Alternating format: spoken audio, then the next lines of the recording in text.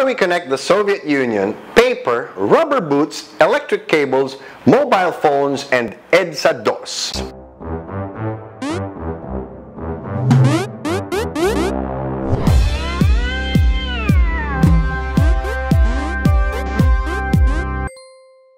Time of Napoleon in the early 1800s, the Soviet Empire, later known as the Soviet Union, annexed a small country which was then called the Grand Duchy of Finland. In 1865, a mining engineer named Frederick Idestam put up a groundwood pulp mill near the Tammerkoski Rapids. Three years later, he put up a second mill a few miles away near the Nokianvirta River. Another three years later, they converted it into a share company, naming it after the town, and thus was born Nokia AB. In 1902, with hydropower from Nokia and Virta, they added power generation to their business. Soon after that, they absorbed Finnish Rubber Works, which made galoshes, and started using the brand Nokia for their products. Their biggest client was, of course, the Soviet Army. In 1922, Finnish Rubber Works acquired Finnish Cable Works, which made telephone, telegraph, and electrical cables. After World War II, they also supplied the Soviet Union as part of war reparations. In 1967, the three companies were merged into Nokia Corporation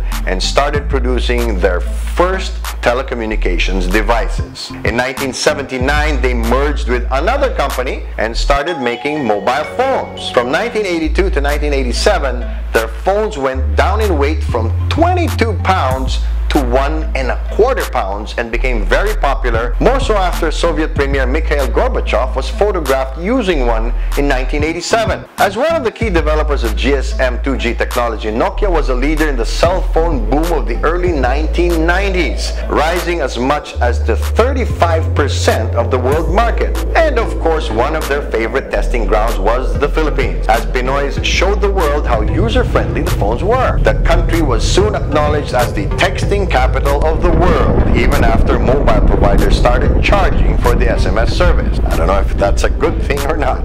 This changed Philippine history in more ways than one. In fact, texting, in large part thanks to Nokia, was considered one of the primary reasons for the speed of mobilization that led to the ouster of President Erap Estrada in what is known as EDSA-DOS. After falling behind with the birth of touchscreen technology, Nokia was bought by Microsoft in 2011. And that's Flip Lang, where we connect the dots from every when and everywhere and bring it home to the Philippines. I'm Bill Velasco.